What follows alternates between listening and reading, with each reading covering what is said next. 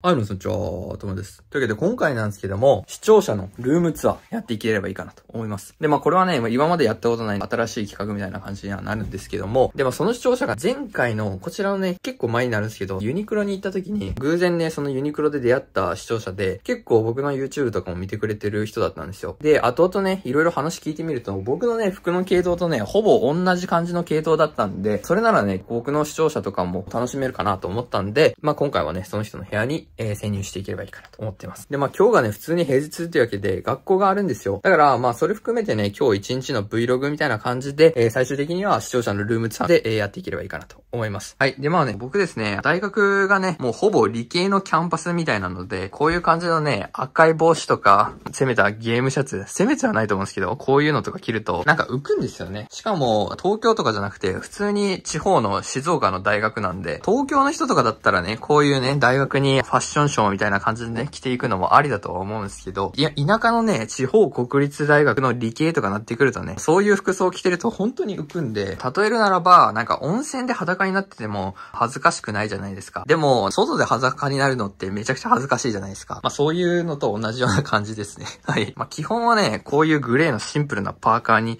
ちょっとしたね、ワークパンツかデニムで合わせるみたいな感じのね、普通の格好で行くんですけども、まあ大体ね、まあ、平日はね、パーカーとかが多いですね。まあ今日はね、エビセンのパーカー着ようかなと思います。で、まあ最近ね、寒くなってきたんでね、パーカーもね、いい感じに着れる季節ってなったのはね、かなり嬉しいですね。で、まあこれにね、パンツ何合わせるかっていう話なんですけども、まあ普通にね、合わせるなら、まあこれかなっていうので、今回はこれで合わせていきたいと思います。このライオン島のね、結構太めのシルエットの、まあチノパンみたいな感じのやつになりますね。で、まあね、帽子なんですけども、こっちもね、いいかなと思ったんですけど、やっぱね、僕、ニューエランのね、940の帽子が一番好きなんですよね。被り心地がね、めちゃくちゃいいなっていうか、頭にフィットする感じが出るんでね、これで向かいたいと思います。はい。で、まあさっきの格好で行こうかなと思ったんですけど、さすがにね、天気予報を見たら23度でね、結構暑かったんで、今日はね、我慢して半袖で行きたいと思います。あ、これ服好きあるあるだと思うんですけど、10月とかね、この季節の変わり目、どうしても長袖着がち。これありますね。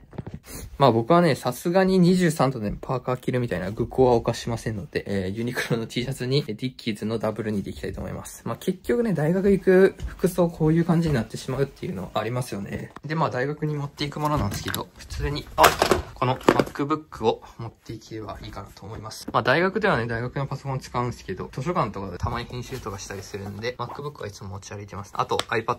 iPad は図書館でね、キングダムとか読んだりするんで、その時に使います。大体持っていくものはね、これと普通に2リットルペットボトルかな。まあ満杯に入ったやつをね、持っていくっていう感じですね。で、まあ大学にね、行く前は、いつもね、ここにあるコーヒーを出ます。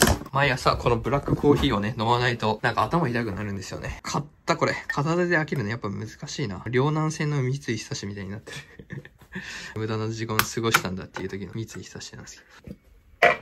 はい、飲み終わりました。まあ、ブラックコーヒーはね、朝欠かせませんね。大学に行く時のバッグは、普通に Amazon で買った3000円ぐらいのバッグに入れてますね。はい。で、まあ、持っていくものは、この財布と、えー、こちらのね、カラビナ持っていきたいと思います。緊急室の鍵と、家の鍵と、原付きの鍵があるんで、まあ、これはね、なくせないなっていうので、ここにエアタグつけて、なくせないようにしてるって感じですね。はい。あとは、こちらの AirPods 持っていきたいと思います。はい。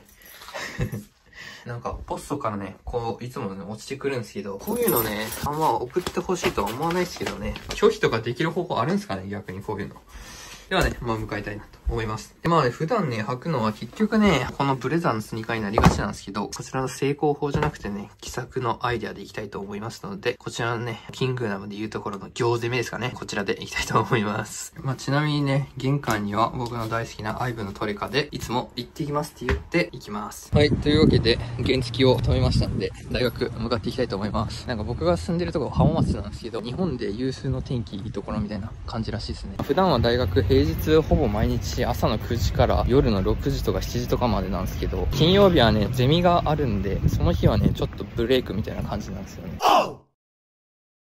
というわけで、学校のゼミが終わりました。今日はね、久しぶりに週に1回学校がね、短い日だったんで、マジ楽ですね。で、僕が通ってる大学なんですけど、東京の私立の大学と違って、人の人数とかめちゃくちゃ少ないんでね、簡単にご飯とかは食えます。でもここがね、食堂ですね。で、こっち側が体育館になりますね。体育館はね、いつも無料で水飲めるところがあそこら辺にあるんですよ。はい、というわけで、食堂に着きました。僕がね、普段食べてるのが、ここにね、玉ねぎが生えてるんですけど、それをね、食べたりしますね。普通に鍵どっか行ったんですけど、どうしよう。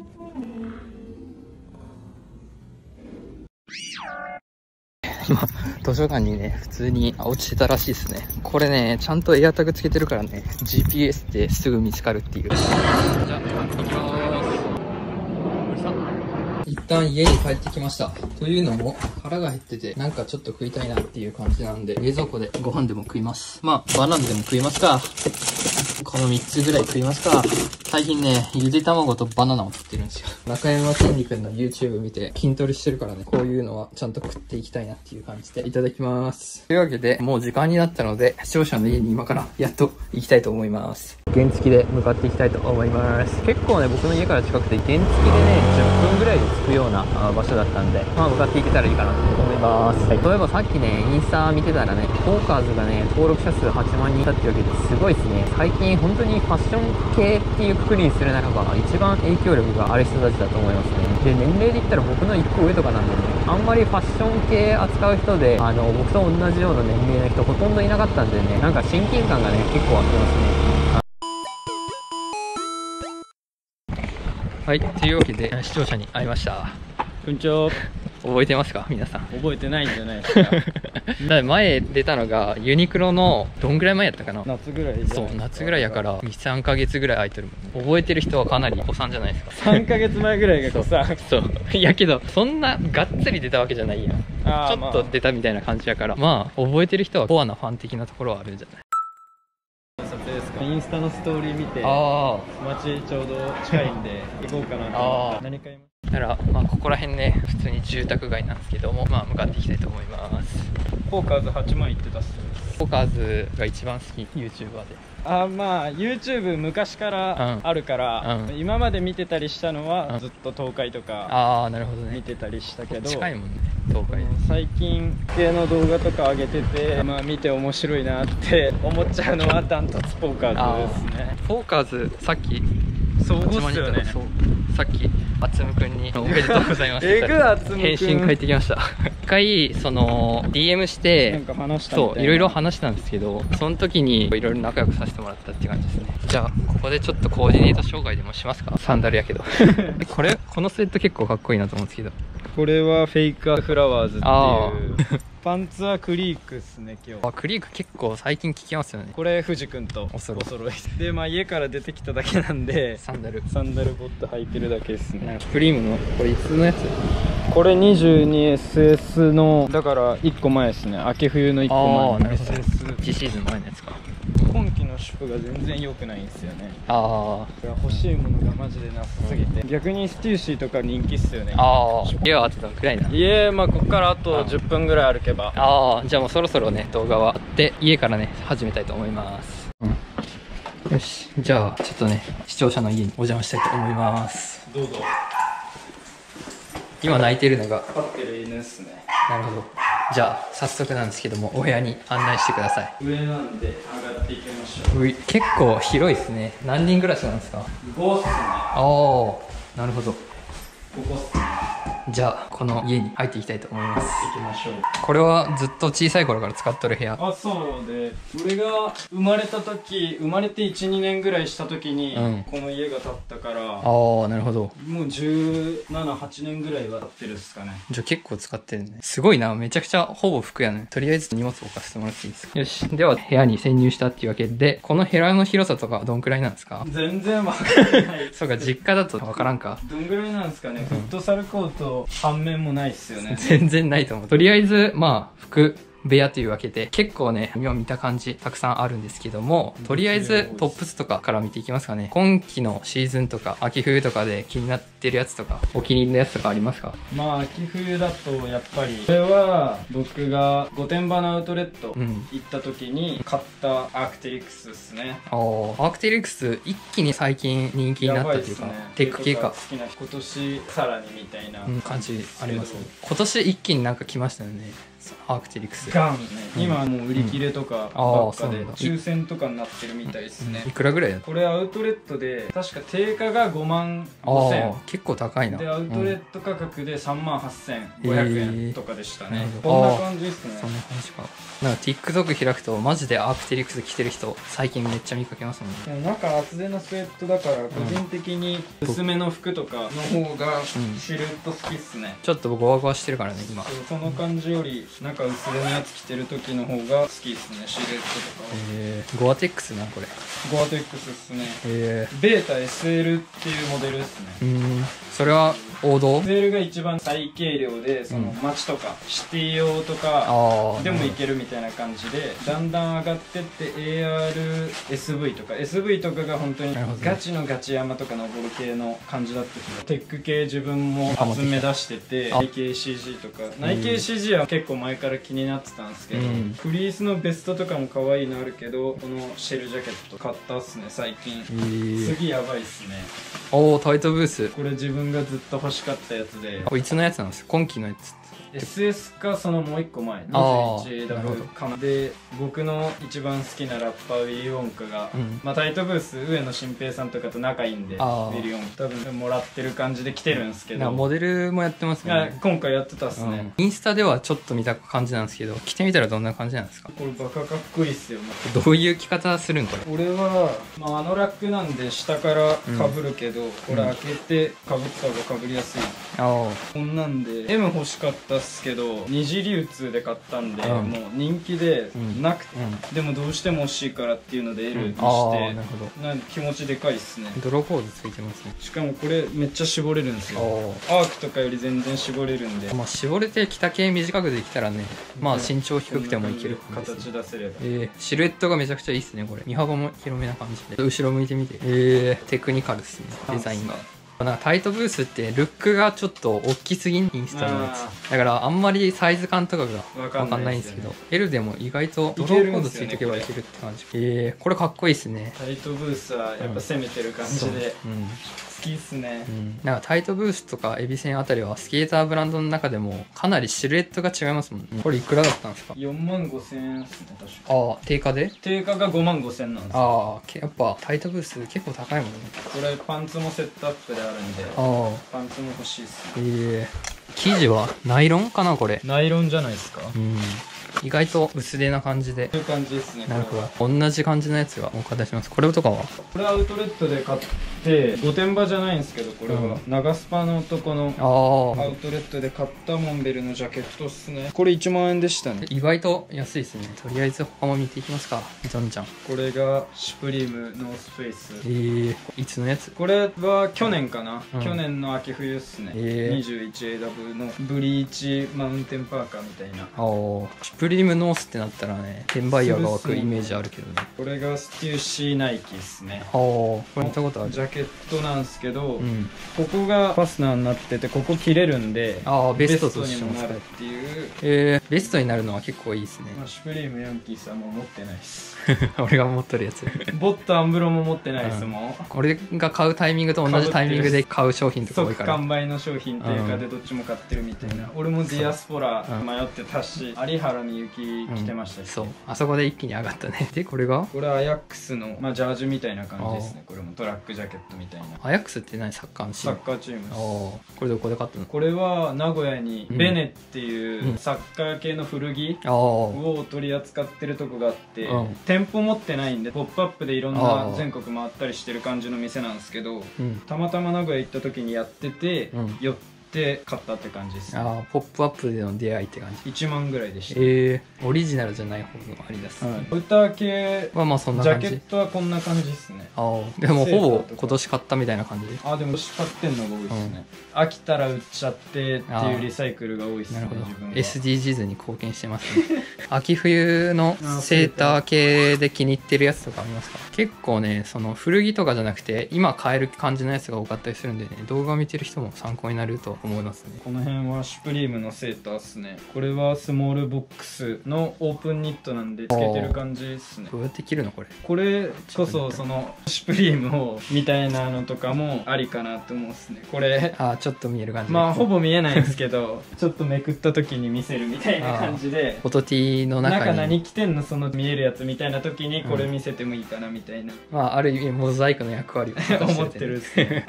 なるほどですね。あこれ見たことあります。弾こ丸のやつ。れダンコンセーターっすね、うん。ネイト・ローマンの、うん。イートローマンって何？ネイト・ローマンがシュプリームの渋谷店に銃弾の跡みたいなあるんですけど、うん。それをやった人っすね。ああデザインみたいな。デザインを。ええ何年か前にこのダンコンのうん。ボックスロゴとかもシュプリーム出ててそのネイト・ローマンって人っすね。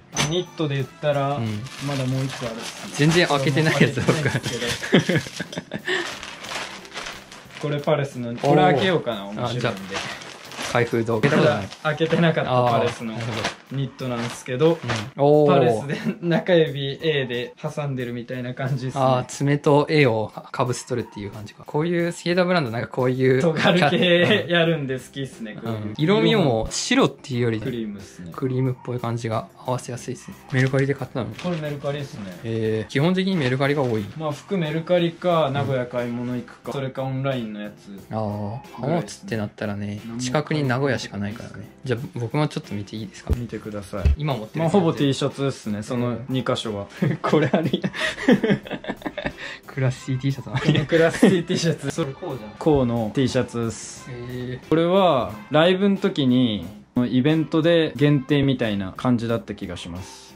ー、これは何これ？それシュプリームのファージャケなんですけあどこれ誰？それわかんないです。ガネーシャファージャケットみたいな感じだからああじゃあインドの神様そっち系っすね。ようタンを見てるじゃないわかんない。ここら辺がパンツベイチ感じか。そこパンツっす。この2つのクブラックデニム。こっちがヤードセールそっちヤードセールっすね。いつ買ったの？これは多分発売日っすね。アップルバターストア。ああバターストア在庫ありがちっす これがヤードセールでこっちが？こっちが939っていうデニムっすこれどこで買ったのポーカーズ御用達の大阪の数字の。11747391に行けなくて遠いんで。だ。だからインスタでメッセージ送ってみて DM でやり取りして買ったって感じですね。ああヤードセール今メルカリで4ですよね。万ぐらいいってます。じゃあこっちもね見てみますか。これがポーラーの93っすね。ポーラーって言ったらビッグボーイか93みたいなところありますここにあるのがワークパンツですかね。ダブル2っすね2本とも。でウエストがどんくらいなのでどっちも俺が32っす俺は。で今俺が履いてるのがウエスト36なんですよ意外と変わんなくないですかこれ？そんな変わんないけど、うん。多分履いた感じ俺の方がもうちょっと細いっす、大陸とかもねありますけども大陸とか履く時期あったんですよ2年前ぐらいっすね。大陸でかっこよかったのは成田洋さん。じゃんかな。あスカジャンもあったっすねじゃあとりあえずパンツ系とトップス系見たんでここら辺見ますか？香水とかから見ますか？香水はまあこちらこの3つなんですけどこれが10ミリのうん。何のやつファイヤープレイスっていう焚き火みたいな感じのやつで、うん。これ一番好きですね自分が。一回嗅いでみます？最初焚き火っぽい感じでうん。甘くなってくるみたいな、ああなるめちゃほどめちゃ好きですね。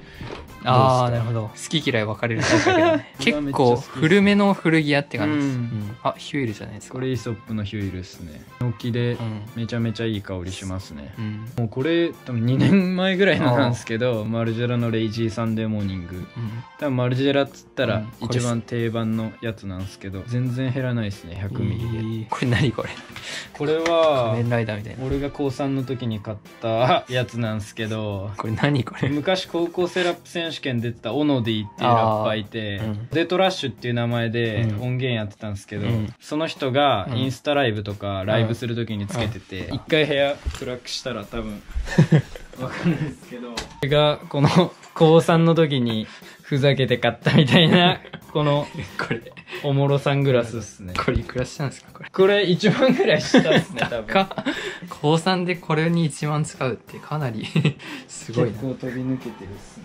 プライベートでつけることほぼないんですけど 思い出的な。面白い商品って感じで買ったっすね。え。ー、これがサングラス？サングラスっすね。え。ー、インスタで流れてきて、うん。デザインかっこよくて買ったっていう感じで、ん。結構しましたね。なるほど。3万ぐらいしたっすけど、縁の色とかもあんまないじゃないですか、うん。でオレンジレンズでつけてる人がめっちゃかっこよかったんですよ。こんな感じなんですけど縁の色とかも好きでうん。買ったって感じですね、おー。でこれが伝説の これエルメスの シェーヌダンクルですね。でっかこれ。これ GM のうん。13コマなんですけど、うんいくらしたのこれ？これが17万4900円です。シェールダングル今買えんみたいな。よこれ俺もうん。1年前の夏8月ぐらいにうん。名古屋の店舗で予約してうん。うん。1年後に受け取れたって感じですね。1年前払えたの？届いた時に支払うみたいな形だったんでだから8月ぐらいに受け取り行ったんですけど本当1年ぐらい入荷待って。っていう感じですね。これに。ちゃんと箱持っとるってことはこれメルカリで売りようやないか。これは多分一生もんなんで何があっても売らないと思うんですけどこんな感じですね。その中に入ってたんやエルメスのシェールダングルマジでつけとる人多いもんね。っていう感じですかね小物アクセはサリー類はこんな感じ？あとこれとか。あこれがネックレス。ネックレスなんですけど、日高っていうブランドでめちゃくちゃ厚くて、うん。ここにつけるうん。カラビナみたいな感じでペットボトルさせるやつあるんですよ、おおそういうのとか売っててなんか小物のちょっとひひねったデザインの小物みたいなの多くあって、日本の小物のブランドっすかね、これは、これはクロスフォーンズってやつなんですけど、うん、2年前ぐらいに買ったんですけど。ああ普通のねスマホホルダーとちょっと違う感じな。スマホホルダー最近つけてる人多いけど、うん。これ重いんすよしかも、いい。思ったら。ああ結構重い。想像以上に重いですよ。工事現場にあるぐらいの差ぐらい。カバンとか、うん。これエビセンのバッグですけど。ナップザックこれ。そうですね。軽く荷物持って家出かける時とか。まあ MacBook とかもね、うん。この収納するとこあるんで、うん。ちょっとペットボトルとかここ入れたりして、ああこういう感じですね。エビセンのバッグか。どんな？これいくらしたの？これ。これ1万ぐらいじゃないですかね、へー。確かエビセンのバッグで。普通のねリュックとかショルダーバッグも最近ね、めちゃくちゃ持ってる人多いからこれ結構いいっすね、メッセンジャーとかも人気っすもんね。この辺。最近 あの2号さんエイサップロッキーともコラボするし、ねコムドットともコラボする。で 靴最後に靴とか見ていきますかね。ワラビー。おおワラビー2足持っててこれがクラークスのワラビーなんですけど、うんはい。ゴアテックスでこっちの普通のスウェー。ドの方と違うんですけどああ本当だでソールも変わっててうんこれクレープソールっうんていう方なんですけどこっちビブラムなんで。ああで他とかでまあともやくんが最近の動画で コンバース買ってたっすけど。CT70 ですねこれは。CT ですね。これは多分高2か高1ぐらいの時に買ったからああ34年前とかに買ったやつ。当時ドメスとか着てた時とか、うん。アダエラ着てた時とかそういう時とかよく履いてた。最近はあんま履かないですけどめっちゃ歩きやすいですねマジで。いや親会社ナイキなだけはありますね。あとやっぱ CT70 光沢がここの光沢がねいいっすよね、汚れてる感じもめちゃめちゃいい、うん。これナイキのステファン・ジャノスキーってやつなんですけど。ああこれ堀米雄斗が。これしかもうん。ナイキ ID で配色とか考えてうん。紐とかもこんな感じにしていい。で自分の名前も文字入れしたって感じですね「アイアム更新」っていう。ジャノスキーさこあのオリンピックで堀米雄斗君が入った時に一気に跳ね跳ね上がったもんね。ジャノスキーさん呼びするんですよ。中野みたいじゃないですかこれ今季のシュプリームの今季唯一1個今買ったものです、同じシュプリームのダンクハイですけどこれも SB でうん。やっぱ普通のダンクとかよりは全然いいっすね。ウィリー・ウォンカもさなんかダンクで好きをやったやんああアントニーとのやつそうアントニーのやつ。なんだっけスニーカーホリックスか。チームグリーンとか履いてたっすよね、うん。あとはまあエアフォースワンなんですけど普通のじゃなくておお何これ初めて。ビブラムソールでうん。リクチュールっていううん。靴のカスタムとかするブランドっていうかうん。そういうとこがあってうん。ここで出てるやつなんですけどソールとかもエアフォース多分切ってうん。ソール張り替えてシャークソールビブラムのうん。つけてこことかも変えてっていう感じのエアフォースですね。えこれはいくらしたの？これ4万5千とかあーまあ。カスタムなんで。カスタムってなるとねそんぐらいするやろうね。ダンクとかのカスタムとかもあって、うん。俺が買った時これぐらいしか出てなかったから面白いなと思ってこれ買ったんですけど、え